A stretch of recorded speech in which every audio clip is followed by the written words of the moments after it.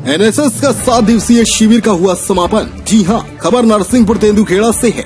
जहाँ समीपी ग्राम जैतपुर में संत मोनी सर्वोदय महिला महाविद्यालय की राष्ट्रीय सेवा योजना की इकाई द्वारा सात दिवसीय शिविर का आयोजन किया गया था, जिसमें शिविर के माध्यम से छात्राओं को आत्मनिर्भर बनाने के साथ समाज में व्याप्त कुरीतियों जैसे भ्रूण हत्या, बाल विवाह, दहेज प्रथा को उखाड़ फेंकने के लिए रैली एवं नुक्कड़ नाटकों का आयोजन किया गया था। जिसकी प्रशंसा समापन के अवसर पर ग्रामवासियों द्वारा की गई।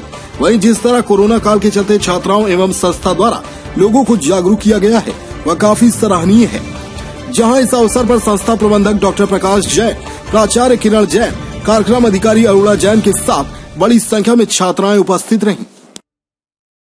आज का कार्यक्रम राष्ट्रीय सेवा योजना के सात दिवसीय विशेष शिविर का समापन अवसर था और इस कार्यक्रम के अंतर्गत हमारा एक उद्देश्य होता है राशि से छात्राओं का व्यक्तित्व विकास और उनको आत्मनिर्भर बनाना। हमारे कार्यक्रम का मूल उद्देश्य था कोरोना जैसी महामारी को दूर करना और बाल संरक्षण, जो कि एक सबसे गंभीर समस्या बनी हुई है और जल स्वच्छता, बाल विवाह आदि बहुत सी समस्याओं को लेकर हमने यहाँ पर प्रचार प्रसार करने का प्रयास किया है। और अपने उद्देश्य को सार्थक करना चाहते हैं।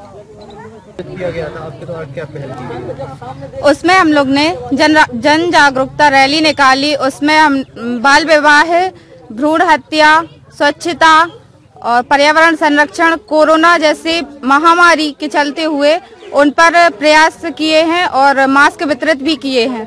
अपने आसपास की हर छोटी बड़ी खबर देखने के लिए हमारे चैनल पुलिस ब्यूरो न्यूज़ को बेल आइकन दबाकर सब्सक्राइब करें, जिससे आपको हर खबर समय से मिलती रहे। अधिक जानकारी के लिए हमसे संपर्क करें। हमारे कॉन्टैक्ट नंबर है nine zero three nine zero one one eight eight six एवं nine seven seven zero two two nine nine nine nine.